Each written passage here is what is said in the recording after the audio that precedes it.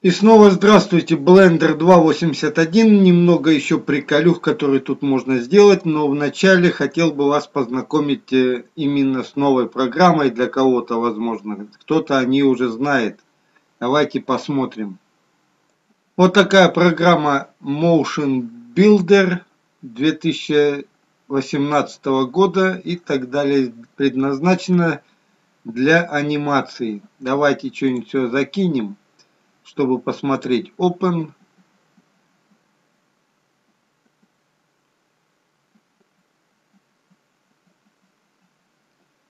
Файл с предыдущего именно ролика по Blender. Посмотрим, что тут она, как будет выглядеть. Опять же, навигацию я пока не знаю.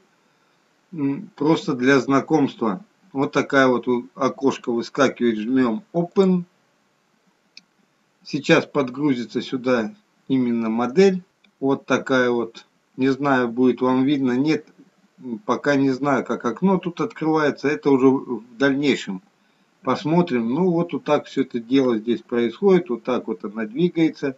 Здесь можно также с Blender закидывать анимацию и также ее тут сохранять, как-то доделывать, корректировать. Возможно, потом и эту программу будем рассматривать уже поглубже. Но пока слишком метаться это очень для, для мозга очень опасно. Возвращаемся в Blender 2.81. Не забывайте об этой программе. Может быть кто-то установит, может кому-то она больше подойдет, чем Blender. Тут тоже можно вставлять э, кости, с, делать своего персонажа полностью, добавлять сюда риги и так далее.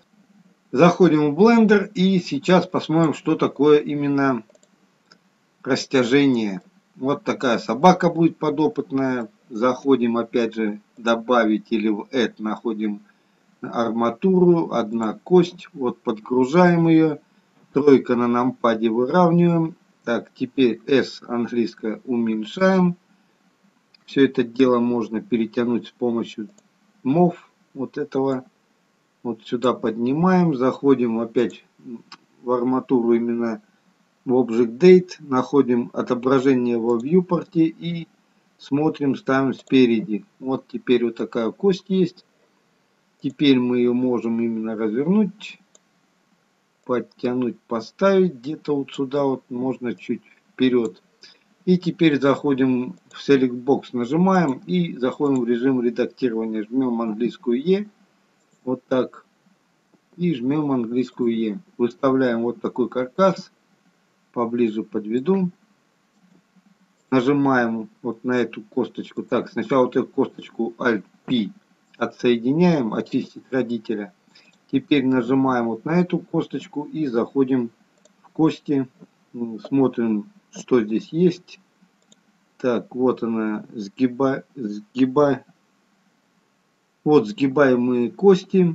И вот здесь вот можно добавлять. Так, предварительно давайте зайдем поставим именно кости вот в такой дух B, V кость. И вот здесь уже вы можете добавлять сегменты. Когда добавили, вот такая штука получается. Заходим опять же в объектный режим. Нажимаем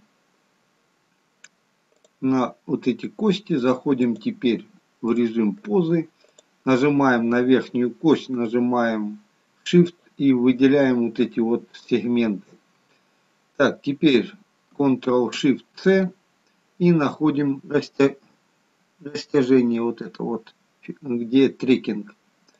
Растяжение ставим и смотрим, что в Object Mode объединим это все с телом.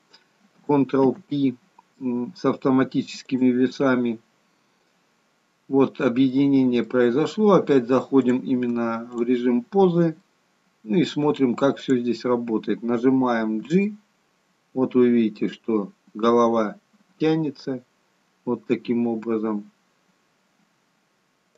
Также голову можно здесь поворачивать. Ну, для птиц, для собак, для каких-то деталей. Хорошая штука. Можно ее транспозом вот так вот повернуть голову вот таким вот образом. Также можно ее немножко наклонить вниз. Ну, для лошади, для верблюда какого-то пойдет тоже. Опять же для каких-то деталей. Ну и вот так вот поднять.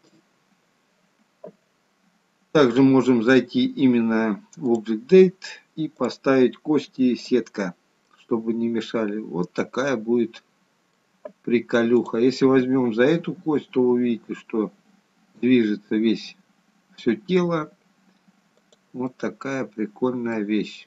Вот так он смотрит теперь. Шея не поломалась, все прикольно. Все, всем пока, до свидания.